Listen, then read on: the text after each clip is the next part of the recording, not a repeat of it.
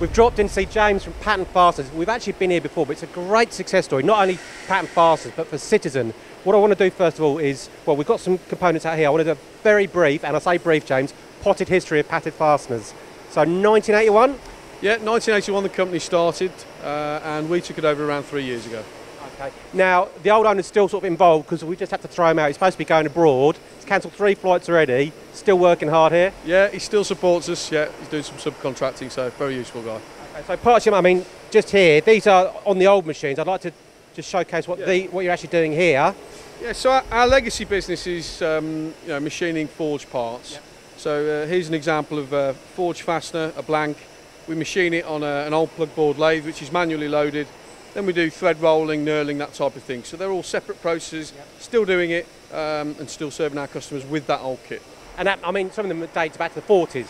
Yes, absolutely. We've got some very old kit, but it's very good at what it does, and um, we, you know, we just leave it that way. Yeah. And that's just a bit of background because we're here on behalf of Citizen. Now, you've got some great Citizen machines. You started buying them for the company secondhand about three years ago. Yeah. First part I want to look at is this is done on your old L20, he says confidently. Yeah, it's uh, an engineering stud, so we still use the old L520. Very good machine, serves us well for certain jobs.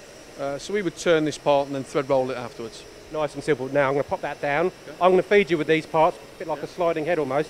Now this one, the old L32. Yeah, that machine's 23 years old, uh, but again, you know, good example of a job that we would run on there. Uh, very good machine, very reliable for its age. You know, we continue to use it daily. Now I'm looking at the cold forge parts here. Yeah. I'm thinking, why wouldn't you do that? But it's more because there's a lot of material removal there.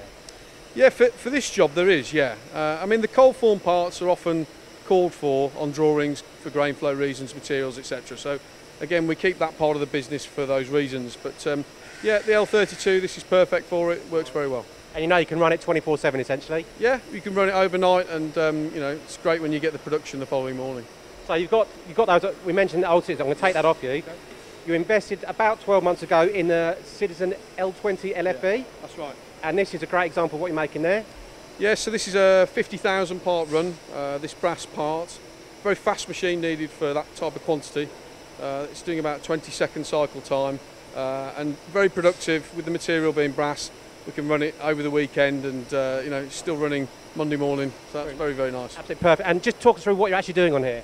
Uh, so turning from round bar, drilling on the front, uh, milling the square, cross drilling, and then on the back we're doing some drilling and threading as well. Okay, fantastic. Now, as I said, I'm going to take that off you. We've mentioned we've got some old Citizen machines, the, newer one which you just bought last year, the L20 LFV, but this is your latest acquisition, the L32. This is what they make on it. We'll come to that in a minute, but why have you bought it? Uh, well, we felt we needed to expand our capacity on the larger size parts, so up to 32 mil. Uh, the machine's more reliable than the older machinery, it tends to run for longer. The, the LFV helps with that. You don't get the birds nesting, that type of thing. Uh, so it's given us strength in an area where we were a little bit weak in the past. Okay. Now this part here, just quickly talk us through it. Now I'm thinking that's not 32 mil though, so that if you just talk me through that one. Yeah, so this part really is a stainless steel 316. It's not 32 mil, but um, you know the machine's very good for it. You know, bit of turning, bit of grooving, uh, some drilling work. We're doing reaming as well to hold a tight tolerance on the bore. Uh, you know, and the machine's very quick at doing the job too. So you know that makes it a good machine for the job really. Okay. And not really a complex part, but the fact you've got the tolerances down the bore, for example. Yeah, very tight. So you need a machine that's uh, you know very well aligned, and um, we've got that here. Yeah. Now we mentioned the fact this is L32, but you can go guide bushless as well. Yes, you can. Uh, we're doing that on the L20 actually at the moment. Saves you some material. So on a job that's 50,000 parts, you can you can save quite a lot of material uh, with the short remnants that you get using the machine that way. Okay. Now the machine itself, what have you got going on in the envelope here? Uh, so we've got a number of driven tools, number of turning tools, uh, driven tools on the front, driven tools on the back. B-axis as well. Yes, B-axis, uh, manual B-axis. So we're able to drill on the front, which frees up the sub-spindle for doing back working uh, whilst you're, you're drilling the front of the part, for example. Now one thing you have mentioned off camera, what's one, one I'm sort of pointing at it here. One thing you really like about this? Well, you like a lot of things, but one thing you absolutely love. the door. This is the best thing ever done. to, to these machines. I, Why? I actually like it on all the other machines because it makes it so accessible, you know, rather than the two sliding doors and, you know, I'm not the slimmest of chaps and, you know, trying to squeeze through the door. This is fantastic. Love it. So the other, again, just to reiterate, the other machines you've got the L20s, L32s, all great machines, but the door's not quite so big. Yes, not so big, yeah. And control-wise, I mean, the machine is so new, you've still got the plastic sheet on the screen, but Mitsubishi, Yeah, Mitsubishi Control, uh, you know, additional functionality, but what I will say is that it's not lost the uh, familiarisation that the old machines have. So you can take an operator from a machine that's 20 years old, and I would say really within a few minutes you'd be familiar with the, the screens on this machine. So that's very, very good. what about then actually using the LFV in terms of controls? Is that is that easy? Because that's obviously, well, 12 months ago, it's a new process to you. Um, fairly straightforward, really. You just set a G code, number of variables, uh, switch it on, switch it off.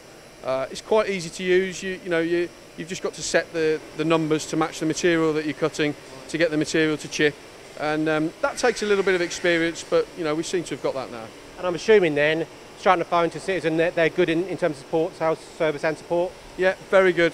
Very satisfied with that. Excellent support overall.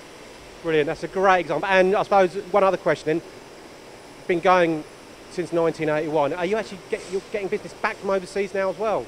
Yes, I would say to a degree, we're starting to see some of the medium volume runs coming back in our direction. Certainly, the inquiries are going up as well in that area. I would say. All with the help of the Citizen machines? Yes, absolutely. James, thank you very much. A great endorsement of Citizen Machines and Manufacturing UK. Thank you very much. Thank you very much.